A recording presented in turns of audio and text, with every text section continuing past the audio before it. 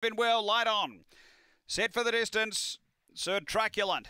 Back from uh, the run in Melbourne in the Stayers Top Gun. Away, Sir Truculent out on terms. Angry Trip out quickly. Sir Truculent back fourth now early. Angry Trip finds the lead, gets away by two to Vivid Dream.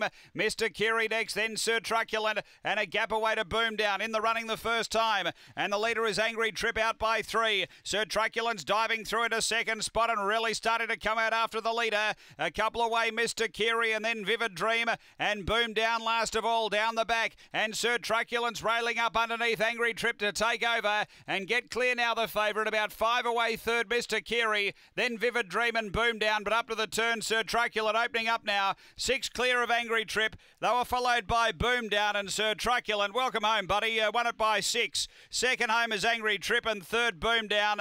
Uh, then came Mr. Kiri and Vivid Dream back at the tail. The time here, another good one, around 42.90 after uh, the running of race number three. And uh, Sir Truculent for Wally Harkins has been too good. Number eight. Uh, second going to two Angry Trip for Beck Romaine and third to six, which has Boom Down for Ben Rawlings. Numbers are eight, two, six, four, fourth, 42.90 the run after the third here at Angle Park.